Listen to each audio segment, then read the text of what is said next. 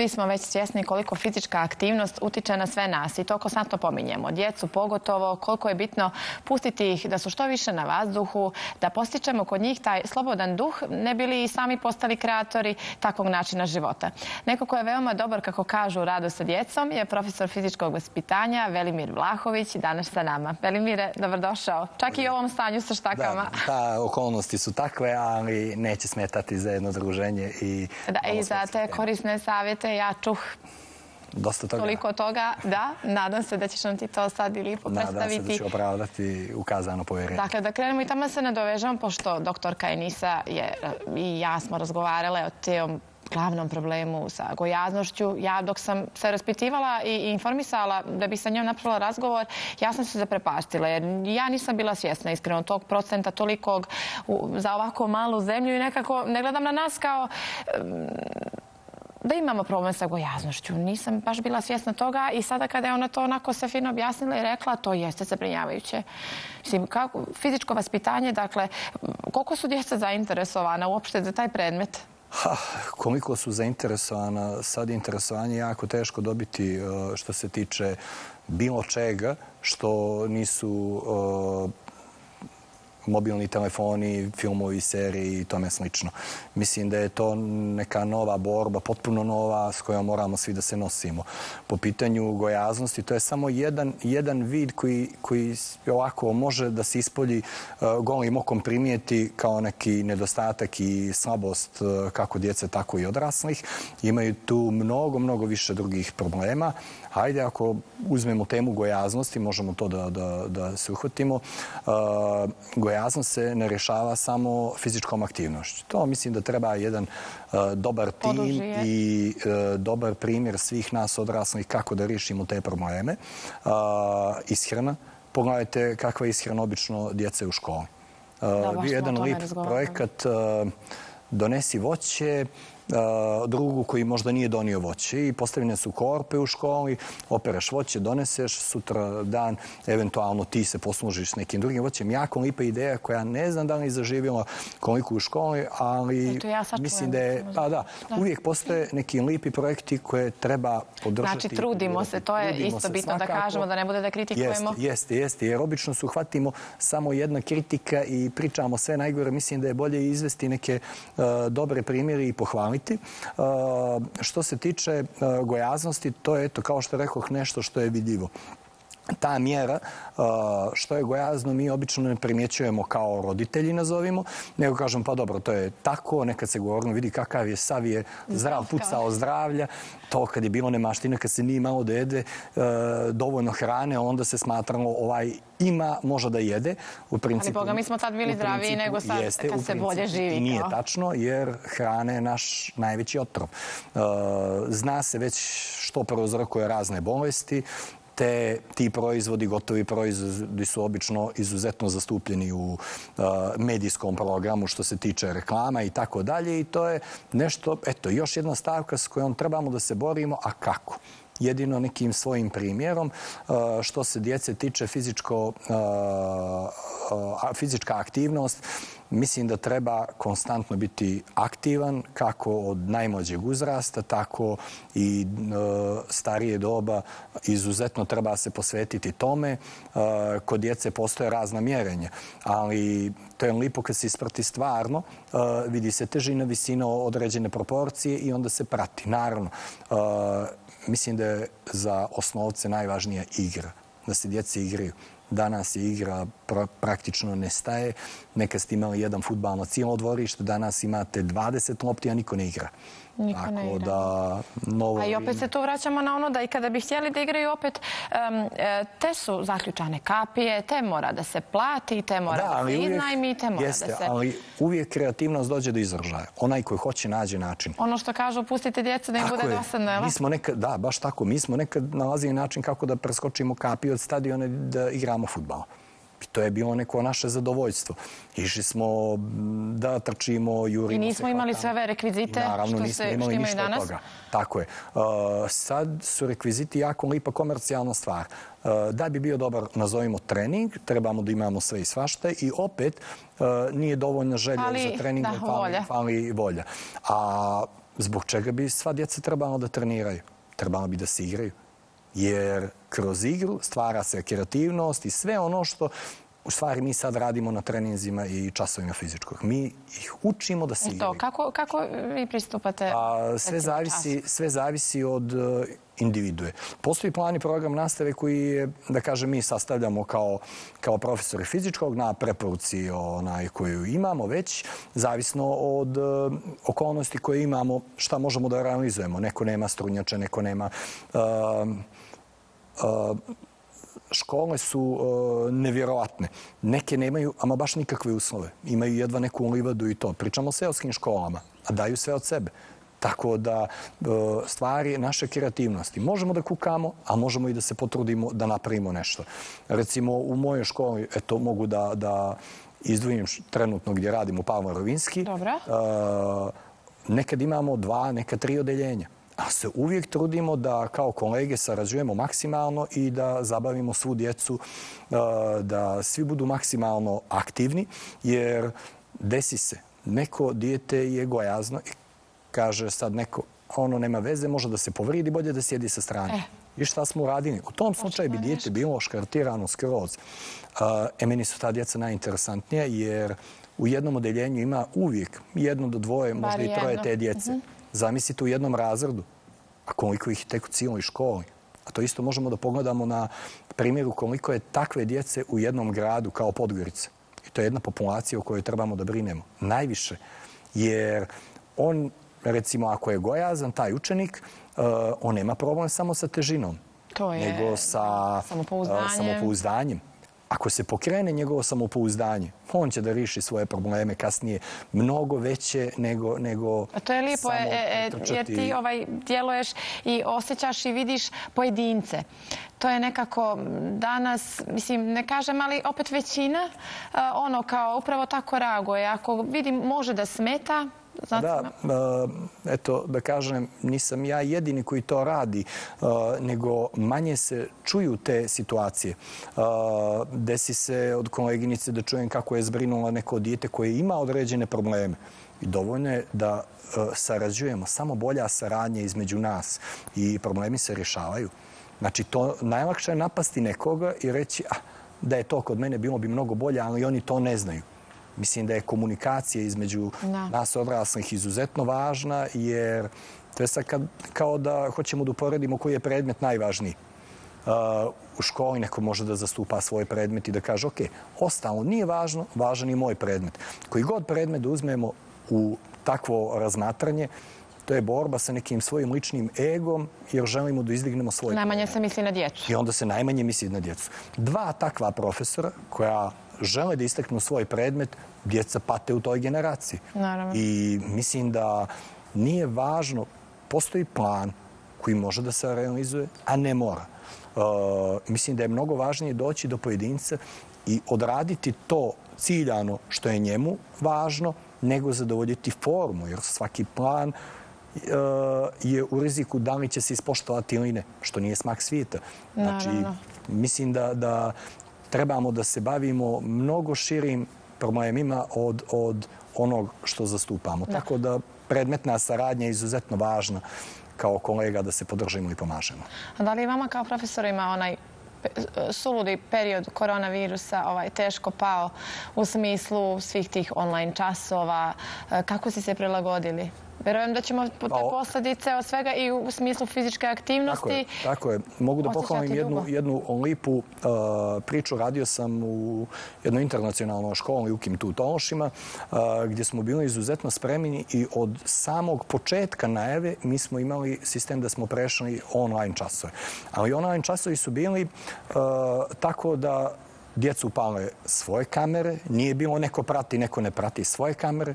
Ja organizujem prostor u svom stanu uh, i kako ja radim, tako oni rade.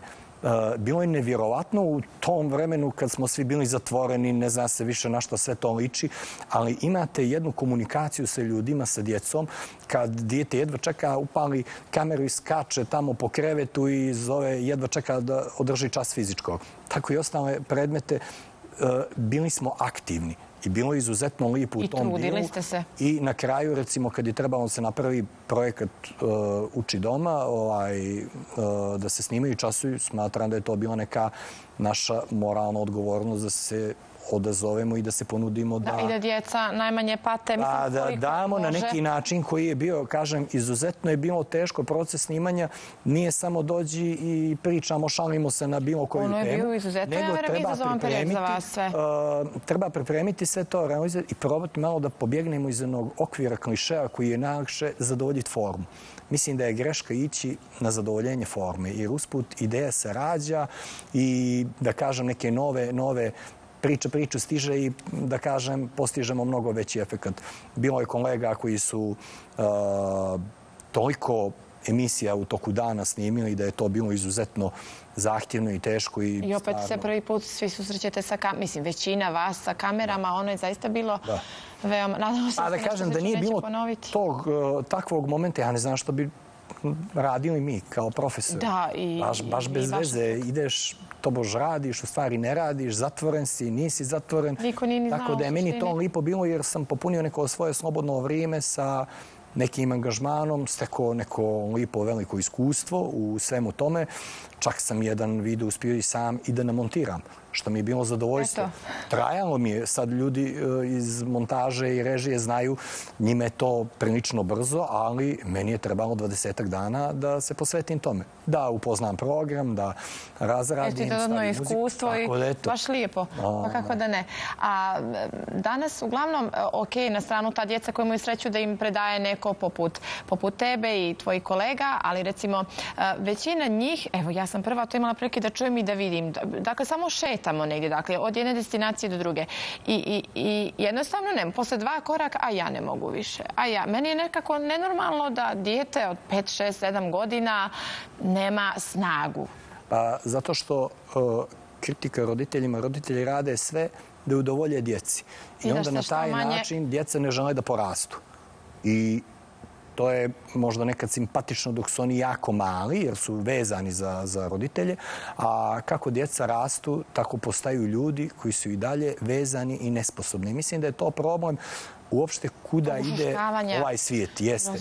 E, mislim, mi se našalimo ono, kažu, evo ga, 35 godina traži majki za, za uh, izlazak ili nešto tako. Uh, ali da, tome, tome uh, sve ovo vodi. Mislim da je neki novi način uh, života. Evo, e, uh, najakše uplatiti djetetu trening i šta roditelji rade u to vrijeme. Pa zar nije pametnije da pođu zajedno na neku rekreaciju, da se igraju? Mislim da sve ovo što trenutno funkcioniše naš sistem uopšte uh, je loš za nas. I mislim da dosta toga treba promijeniti i uh, teško je sad promijeniti na taj način što ćemo forsirati ljude. Znanje je dostupno svima. Samo nisu svi ljudi na tom nivou da ga razumiju. Čak nije ni teško da se svati, ali u određenom momentu njima nije prihvatljivo. Mislim da trebamo da mijenjamo sebe i na taj način možemo primjerom da promijenimo okolinu svoju. Da. Pa to bi jedino negdje i trebali svi ovaj, da počnemo i da krenemo što prije, jer nekako sve nam je tako lako dostupno, sve tu na dohvat ruke, ništa više ne mora čovjek da se pomuči. Sve se veže za materijalno. Treba nam, da bismo napravili, treba puno novca. Mi smo napravili jednu ideju, eto, čisto uh, sa klinicima, u školi smo se dogovorili da napravimo klikirijadu. Investicija Klikirijadu, nikakva. Aha samo donesite pokliker ko ima i da se zabavimo. Rupe, naravno, svi smo bili u situaciji da iskopamo. E, prve godine je krenula kao neka mini zabava par odeljenja. Iduće godine smo uključili više kategorija. Bili su i veterani, roditelji i tako dalje, profesori. Zabavili smo se. Mislim da uvijek kroz šalu i zabavu možemo mnogo toga da napravimo. Ako sam ja profesor, ono ne smijem da stojim iznad učenika kao neko mnogo bitniji, mnogo veći nego u nekom njihovom rangu da se poštojemo i da se zabavljamo. Kad e, djeca su e, jako interesantna, e, oni kad su mali, sami znate ono kad su neka uključenja iz vrtića, postavljaju svakakva pitanja. Kasnije, mi ih mi kažem, uopšte, sistem ih uči, ćuti, uh, obrukaćeš mene, obrukaćeš roditelje, obrukać i onda djeca počinju da ćute. Kasnije, oni samo prihvataju informacije, a ne razmišljaju. I problem je što kasnije ljudi formirani ne razmišljaju mnogi informacije prihvatamo zdravo za gotovo. To je tako, valjda tako i treba. Mislim da se pod hitno moramo vratiti na ona fabrička podešavanja, što bi rekli. Reset. Pa evo, uh, fabrička podešavanja su igra. Ljude uh, koji su naših godina je sramota da se igraju jer ću ja da igram nije u redu, vidjet će me neko i tako dalje. Mislim da, da kroz igru pokazujemo što šta o sebi. Uh, evo, kroz igru pustimo djecu da se igraju.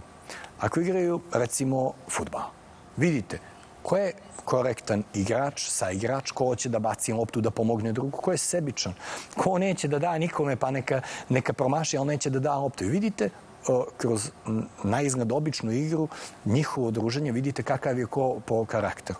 I onda prinozite njima sa određenom pa Neko ne može da podnese poraz.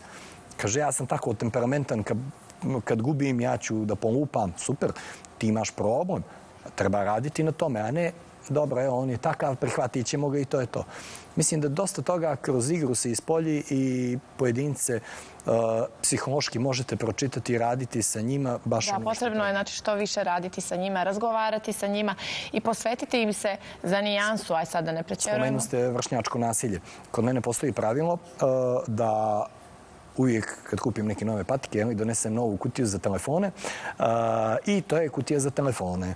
Kad dođu na čas, ja im lično ne branim jer da kažem danas djeca funkcionišu, neko ne živi blizu, oni donose telefone, stavljaju tu u kutiju i to nije neko pravilo koje ja želim zbog da glumim neku strogoću, već e, prvo sigurnije mi je da stave telefone kod mene nego iz džepa kad vade i u snočionicu mogu da padnu da se slome. A druga jako važna stvar, radimo recimo gimnastiku. Nije svako dijete talentovano za gimnastiku. I može da se saplete i padne. Ili da radi prilično loše, zamislite neko sa strane, snimak i to postane jako veliki problem i jako veliki udarac na ego i, i, i uh, volju djeteta koje ne može da izvede nešto što je na izgled jednostavno. Svi mi imamo pravo da nekad budemo trapavi, smotani i pitanje je samo kako ćemo to da, da podnesemo. Ako kažem, ok, to mi ne ide dobro, trebam da radim na tome, onda super. To je neko ko će bolje da se nosi sa problemima u životu. Što kažu, dobro to, nek mi to bude najveći problem u životu. Ili kamo sreće da mi je to najveća glupost koju sam napravio. E, u tom nekom smjeru ih treba. Tako je. I jednostavno trebamo se igramo, zabavljamo i da prelazimo probleme. Ovdje, kažem, trudim se da ih sačuvam sa tim sitnicama, da imaju svoju privatnost i to je lijepo da ih slušate. Znači, Pa, nadam se da će se mnogi ugledati na ove, na ove priče, jer nam toga zaista treba što više. A reci mi sada zbog sljedećeg ovaj, Skype uključenja, reci mi da li pratiš uh, futbal ženski? Uh, ne da pratim, nego... Ne, podržao sam jedan projekat koji je bio sa Futbolskim savezom. Vidim da ulažu dosta toga, dosta, I dosta trude i rada. su i napravile baš zapožene ovaj rezultat. Pa da, jeste. Napravljeni su rezultat, u stvari... to je borba, proces. Uh, loše uh, kad dođe do situacije da mora da se akcent daje na muški ili ženski ili bilo koji Kada uopšte moramo da pominjemo to. Jer ne trebamo da pominjemo. Mi smo društvo koje je uvijek podijeljeno. I eto, djeca uče istoriju pa čujemo onu staru zavadi pa vladaj. To i jeste. Ako počnemo da se dijelimo, nema smisla mi kao djeca smo igrali nekad muško-žensko svi zajedno, pa što god.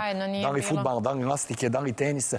Nije bilo, neko je bio trapav nikakav, ali se družio, igrao i zabavljao. Da mislim da je igra potrebna. Ženski futbal mislim da je krenuo nekom lijepom pričom kod nas. E, eto, prisustao sam jednom seminaru u Futbolskom savezu i Norvežanima zajedno što su napravljeni lipa, lipa priča, tako da, da podržavam. Ja sam sada, da, ja sam se čula sa, e, sa Helenom Božić. Ona veoma mlada počela da igra za našu reprezentaciju i e, zaista ima i zavidan broj utakmica već do sada.